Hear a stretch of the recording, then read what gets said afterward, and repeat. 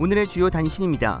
오늘부터 전 세계적으로 달이 붉게 보이는 레드문 개기월식이 금세기 들어 가장 긴 시간 동안 진행됩니다. 하지만 북미 지역에서는 낮 시간 동안 개기월식이 진행되기 때문에 관찰하기 어렵습니다. 에리카 세티 LA 시장과 박원순 서울시장이 우호 관계 증진을 위한 공동 관광 마케팅 업무 협약을 체결했습니다. 협약에 따라 LA 도심 5개 광고판에서 서울시의 이미지 광고가 도심 곳곳에 들어서게 되며 서울시 역시 LA의 그리피스팍 천문대와 헐리우드 사인판 등의 광고를 선보일 계획입니다. 월트 디즈니의 21세기 폭스의 영화 TV 사업 인수안을 양사 주주들이 최종 승인했습니다.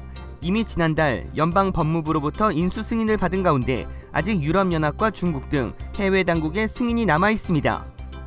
한국 외교부는 지난 25일 해외 개인정보 유출 방지를 위해 오는 2020년부터 여권상 주민등록번호 삭제를 추진할 것이라고 밝혔습니다.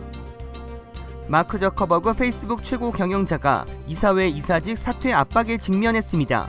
투자자들은 26일 주가가 20%가량 폭락한 데 주커버그의 책임이 있다고 판단했습니다.